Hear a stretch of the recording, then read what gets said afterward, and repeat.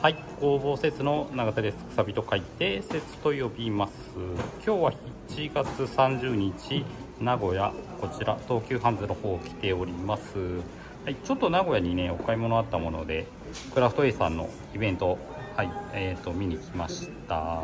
ちょっと1本ね、ボールペンをまだ持ってないのでね、買おうかなと思ってね。はい。あ、津田さんが逃げてたんですけど。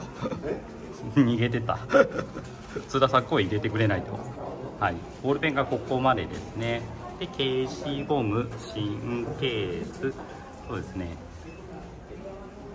でペンシル。やっぱり夏休みということもあってペンシルがめちゃくちゃ人気だったそうです。はい。はい。津田さん説明説明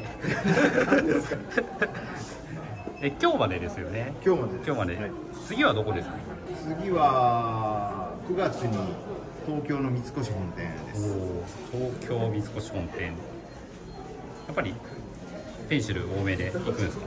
そうですね。まだ多分9月なんで中高生が多いと思いうんますね、まあ、今夏休みということでシャーペンが売れたということですけどやっぱりなんか材料とか何が売れたとかあります結構ね今回はかりんがかりんの昆布が売れてると思いますね。カリンのはい。まあやっぱカリンカリンはやっぱまあどこ行っても売れますよね。そうですよね。ね子供大人関係なしに人気なあたりですねそんなとこかな。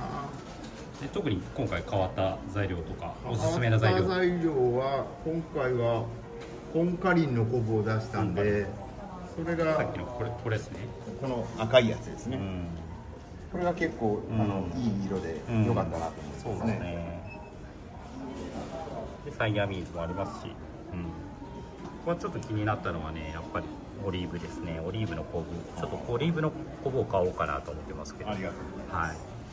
まあ、こんな感じでね、はい、えっ、と、まあ、本当にいろんな方、まあ、木軸ね作る方が本当に増えてきてね、まあ、こうやって野原さん僕クラフト A さんとね古くからやってる人間がねこうやってやってきたおかげで、まあ、こういう風に広がってたっていうのはすごい嬉しく感じておりますけどどうですかね？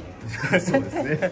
本当にねなかなか広がらなかった時代を僕ら知ってるんで まあ、こうやって人気になってくれたことはすごい嬉しく思います。はいというわけで、はい、木軸ブームねこれからも続いていくかと思います皆さんのご協力あってのものなのでまたよろしくお願いします。